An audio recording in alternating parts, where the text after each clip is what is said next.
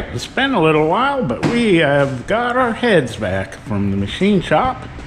And they did a really good job. They got this surfaced, and they even surfaced the exhaust side. And they've got the correct springs in here for our roller lifters. And so I think we're just about ready to bolt these heads on. And then we can go ahead and measure for the correct push rod length. And from there on out, once we get our push rods in there, we'll be pretty much gonna wrap this up. Do a little bit more uh, cleaning some of the oil off of it and get it all painted up. And it'll be just about ready to put in the car when we're ready for that. So, I'm gonna go ahead and get these heads on here and torque them down.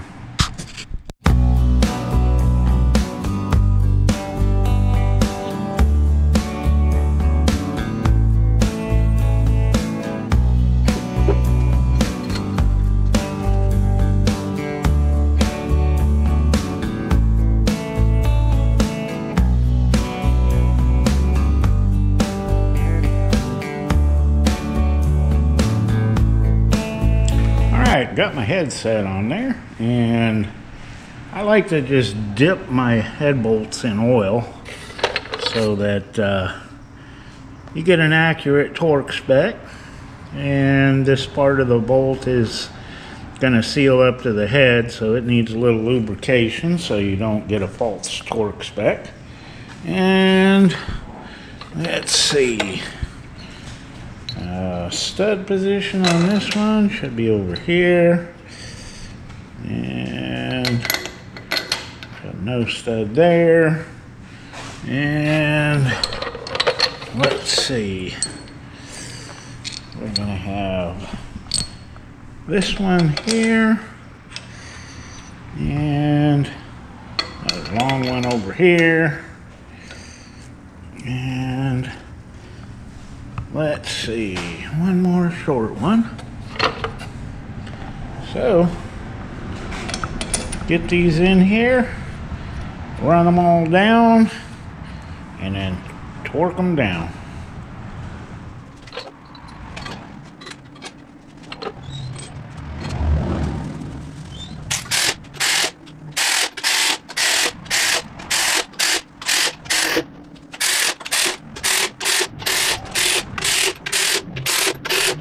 All right, it's a couple hours later, and we ran into a little problem. The cylinder head chambers was hitting on these pistons right there. And with this light, I hope you can see it, but there's a line right there where it was hitting. So I hadn't torqued the heads down yet. I just ran the bolts down. I decided, well, I'm gonna put the balancer on and make sure that everything's clearing. And sure enough, it did. But I didn't want to leave today without a solution. So this edge right here was really sharp from being machined down and surfaced. And went in here with the burr and just tapered it back a little bit right in that area especially right here and right here where it was hitting pretty hard. So went and got another case of brake parts cleaner and uh, washed this head down with how oh, about three cans just to get all the metal filings out of it. And went ahead and run the bolts down Everything seemed to clear. Turned it over several times. Went ahead and torqued it down. And she's rolling right over. No more clearance problems. So, it's getting kind of late today. So, I think I'm going to come in tomorrow and clean this head up really good. Set a couple bolts in it, turn it over, see if we got any clearance issues. Decided to do one head at a time so that if I know something's not clearing, it's going to be this one because I've already checked that one. So, gonna come in tomorrow and see if we can't finish putting these heads on.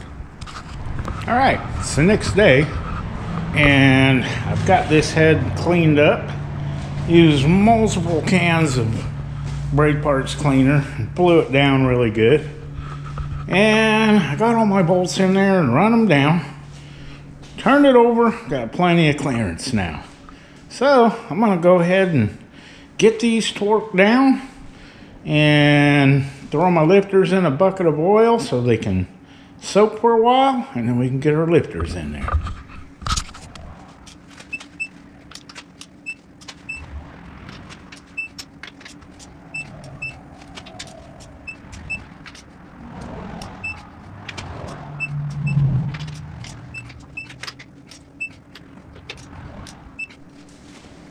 All right, let's see how she turns over now. We'll go around a couple revolutions, make sure all the pistons are coming up TDC.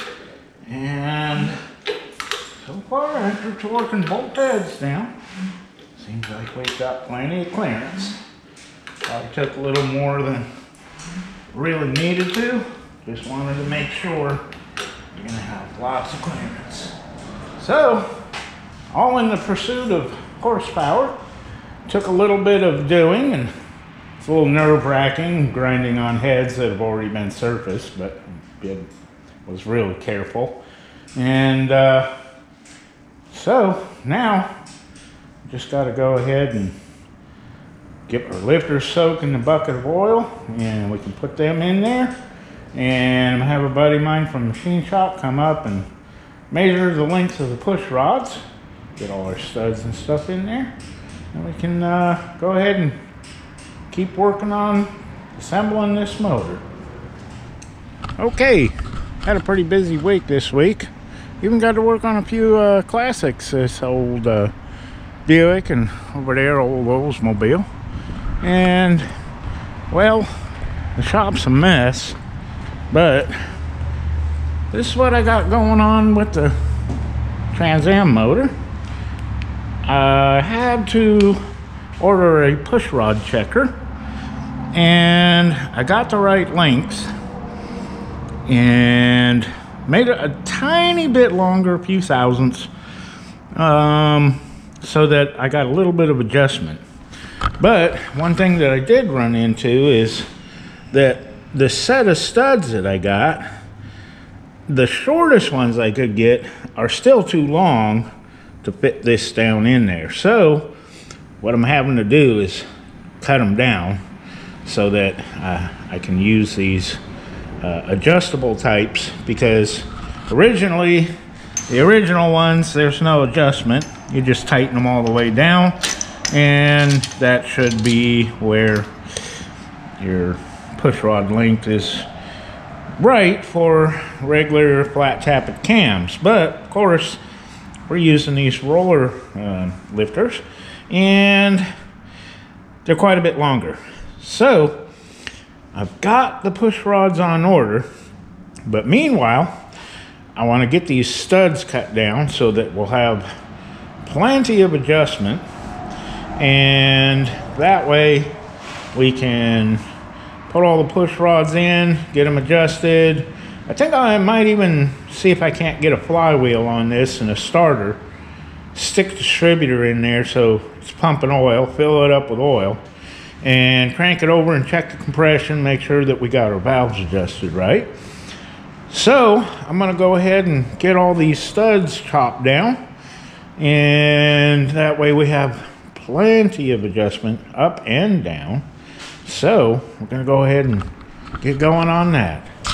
Okay, did a little more measuring and adjusting and I discovered I needed to cut off just a little bit more because we want this set screw to be able to go all the way down and it won't be able to do that with a stud too long. So that way we got plenty of adjustment in and out and we'll be able to use all the threads of that set screw before they were sticking up about, eh, about there, and that's not good. So Uh, did a little more measuring, and I'm going to cut them all off about there. Still leaves about 5 eighths threads. And these are just uh, 454 studs that I got from O'Reilly's, but they're the more heavy duty ones. They're the uh, 7 16 20, and these adjustable nuts and set screws fit them. So, I think we got our length right, and now we just got to get the right length of studs. I'm sure if I ordered these together with studs, they'd be the right length. But hey, they were they were uh, uh, available at O'Reilly, so I just got the shortest ones I could, and now we're just gonna chop them down a little bit. So, show you what I got going on over here. We have everything set up in the vise and I've got a lug nut that happens to be 7 16 20 so right here is the correct amount that we need to chop off so I've got it all set up so I can chop them all off and when I'm done I got the drill with a wire wheel I so I can take the all the burrs off from the chopping. So I'm gonna go ahead and get going on that. But uh, another thing is, is I've got all my parts rounded up for the 440 on the Belvedere. We got the crank gap back. It's uh, ground 10 under. We got our rods pressed onto the pistons. I've got the upgraded rear main seal, main bearings, rod bearings, rings. So we'll be able to start putting our short block together on that here real soon. And there's the new intake for the Pontiac. And uh, it's going to look a lot better than the stock one. Had all that EGR and stuff on there. So we're going to go ahead and get these studs chopped down. And next Tuesday, push rods come in. So we can start putting it together. So here we go with that.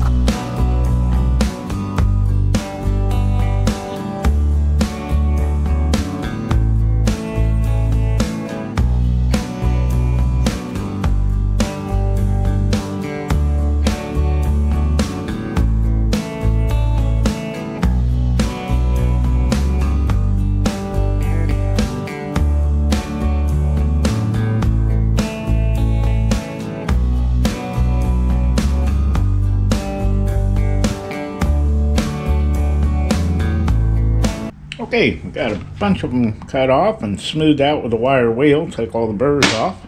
Got 10 more to go, but I'm running out of wheel, so I need to change that. And we'll get the rest of these cut off and then go ahead and put some Loctite on them and screw them down to the heads. Then all we'll need is our push rods. So, I'm going to finish these up and then start getting them mounted. All right, got all my rocker studs uh, cleaned up, checked all of the threads, make sure there wasn't no burrs. Had to do a little cleaning on the burrs a little bit more, but uh, got them to where the threads are all good on them. And I'm put some Loctite and torque them down to 55 foot-pounds. So, gonna go ahead and get these bolted on down.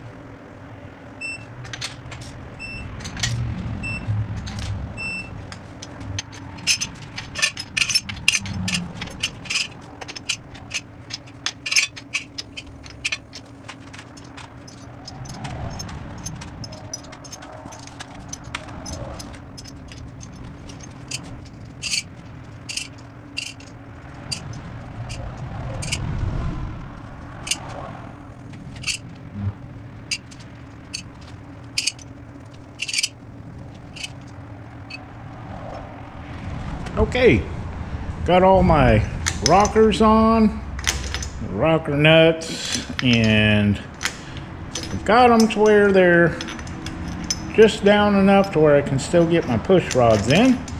And got my valve covers cleaned up somewhat. And it appears that they're gonna clear the rockers. So I wanted to use these factory original chrome uh, valve covers because they actually came with the car. I have to do a little bit of maybe polishing and cleaning up on them, but uh, I think they'll look good. Um, so from here on out, we're just waiting on push rods and it looks like they're gonna be here Tuesday maybe even earlier. They're already in Jackson Mississippi so they might make it down here to the Gulf Coast by tomorrow. We'll see. But that's about as far as we can go on this right now. And we're just gonna set it aside until we get our push rods. Okay, UPS showed up today with the push rods from Summit Racing, and actually even a day early. Uh, that's why I like it when they ship UPS. So I'm gonna get this opened up, see what we got in here.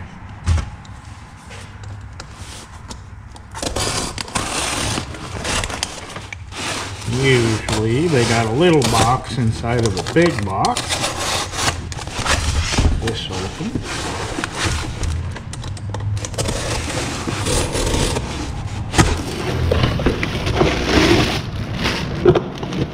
Here we go. Well, it's stuck in there. All right. Awesome.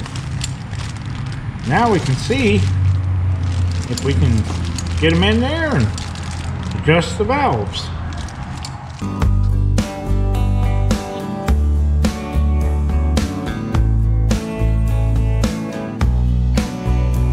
Okay, number seven cylinder is already sitting on the base circle on both intake and exhaust. So I'm just gonna go ahead and get this one adjusted. Okay, the way I like to do these is I get it tightened down until you start to feel just a little bit of resistance and then you know you're at zero lash. So once you're there, okay, we've gone a little bit past.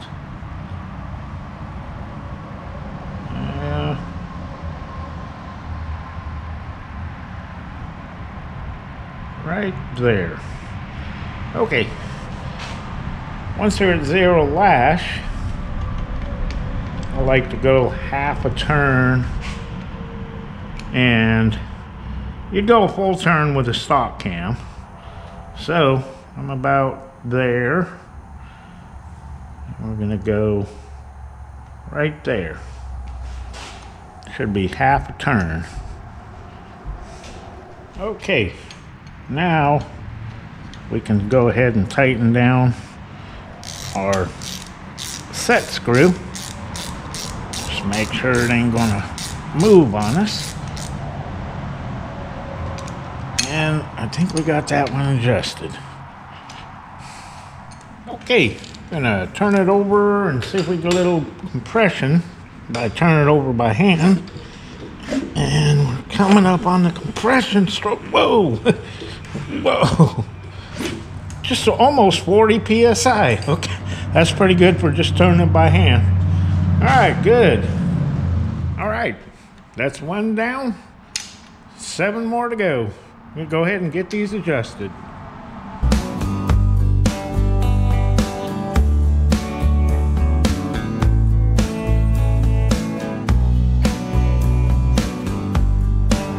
Okay, got all my valves adjusted, check compression on the cylinders, and they're all good.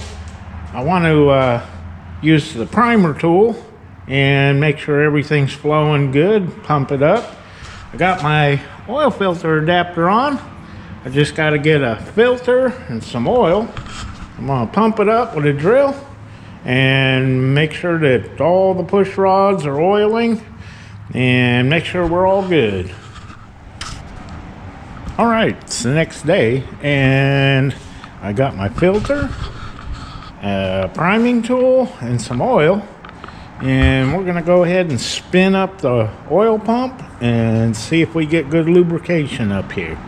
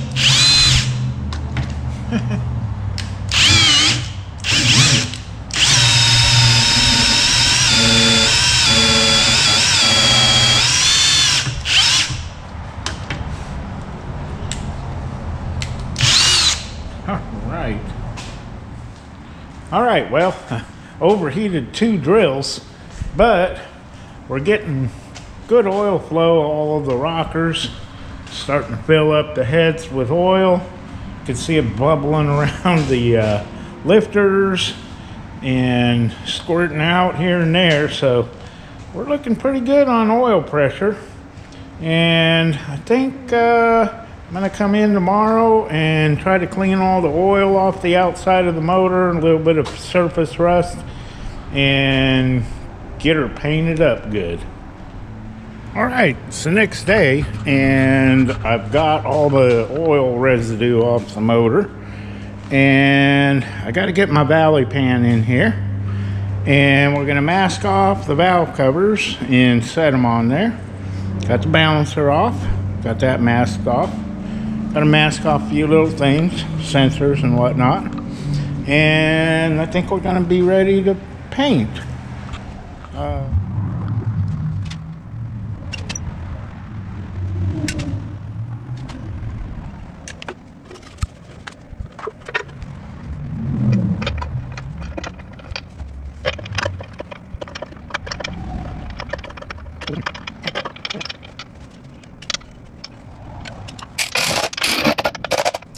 Well, we got it all masked off and it's all ready to paint.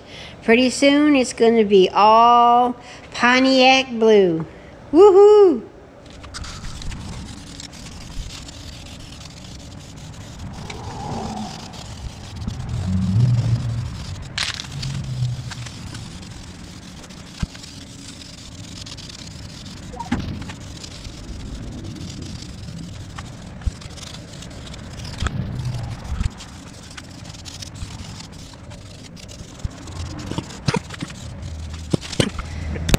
Well, we got a light coat on. We're going to let this dry and put another coat back on it till we get it all done.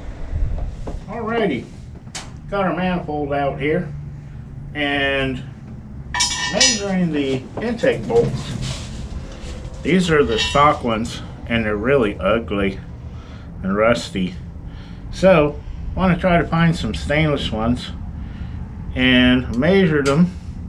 They're inch and a quarter.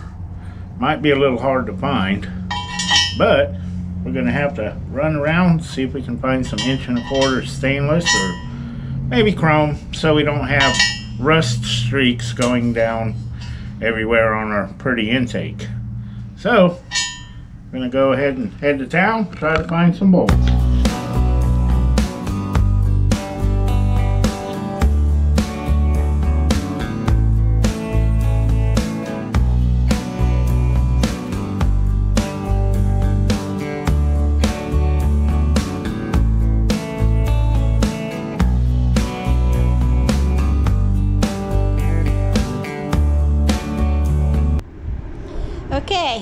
We got several coats of this beautiful Pontiac blue paint. We're gonna let it sit here and dry and we have to run to the store and look for some stainless steel bolts for our pretty intake manifold. Get this sucker looking super sweet. Okay, I think we can finally get this Pontiac 400 put together for the Trans Am. Spent a little while in the machine shop, but we finally got everything back and all together. So I've been working all morning on getting stuff ready. Peeled off all the tape, and I've got this little rubber gasket where it seals up against the back of the timing cover. And got my valve covers peeled off, all ready to go back on. Got the gaskets there. Got the intake gaskets over there. Got the little keepers that hold the gaskets in place. Uh, I've got this little special bolt all cleaned up that uh, pulls the uh, intake forward to seal up against for the water pump bypass. And off the old manifold, I got this uh, throttle bracket. Still got to get that cleaned up. And some of the uh, little Allen bolts that we finally rounded up had to go about three or four Lowe's to get enough for the intake. Got my special tool number 49 so I can get to the ones that you can't fit this Allen socket on. Got the distributor hold down, cleaned up, and the original bolt was just kind of nasty, so I found a stainless one, right length and stuff. So, I'm gonna go ahead and start getting the uh, intake and valve covers all bolted on.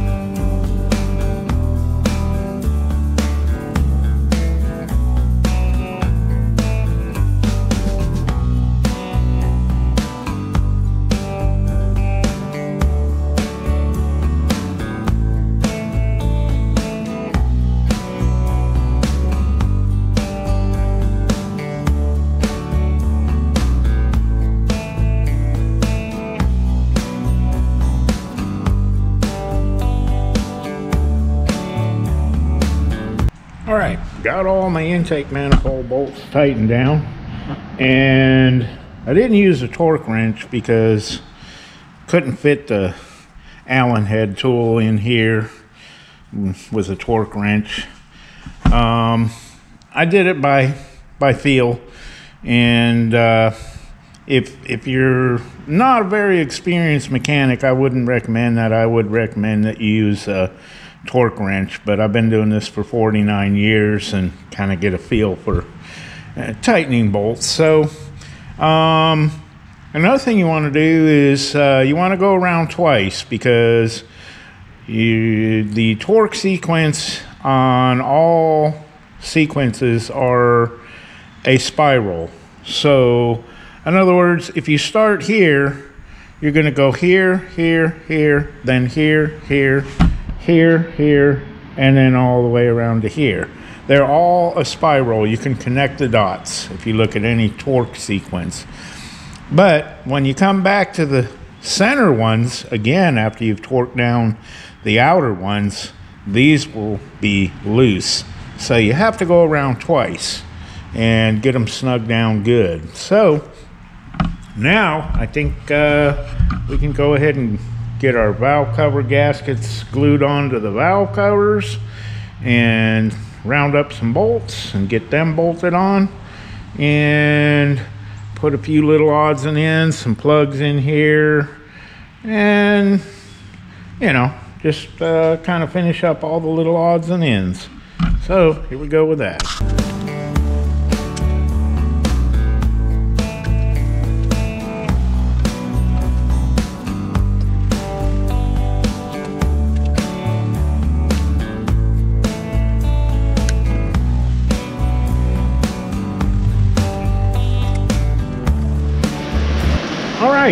Got all my pulleys out of the dip and it almost took all of the paint off so I'm gonna go ahead and wire wheel of what's left of the paint and get these in etching primer.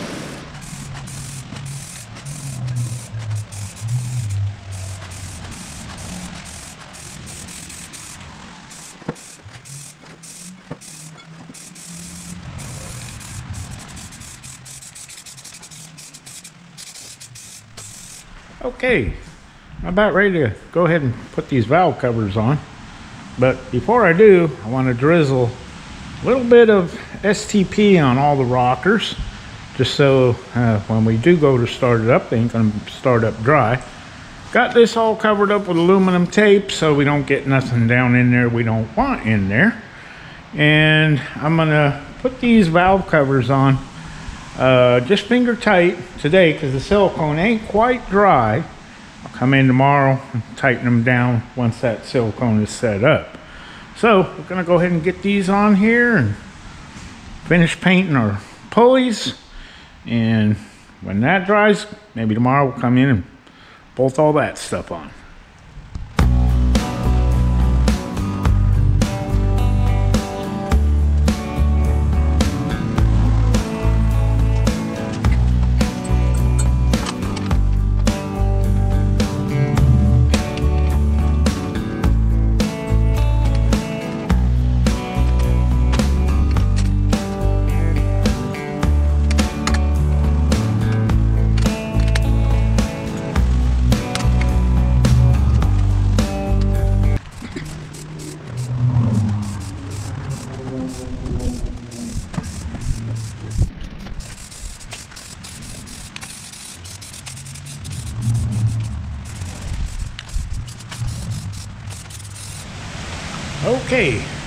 I've got a few plugs in and the throttle adapter bracket. And my note so I don't forget to tighten my valve covers. And got all my pulleys and balancer and whatnot over here and getting ready to dry. So come in tomorrow and bolt on all that stuff. Put my thermostat housing on temperature sensor I got to find another plug. So I'm going to come back tomorrow and see if we can't finish this up.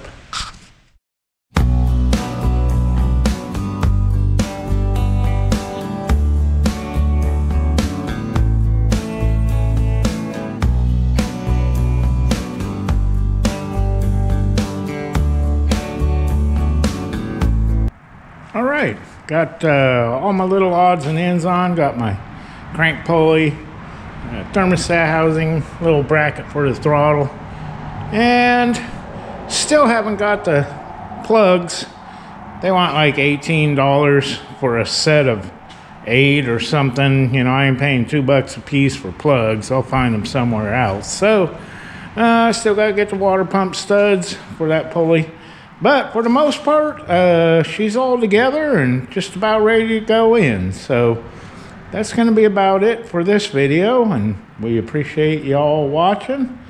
And we'll see y'all next time.